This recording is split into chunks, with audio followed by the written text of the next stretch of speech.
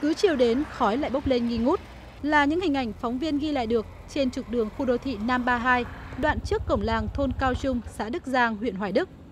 Rác sinh hoạt, rác công nghiệp từng bọc lớn nhỏ chất đống ngay trước khu đô thị. Không được thu gom di rời, nhiều người đã chọn cách đốt để xử lý như thế này.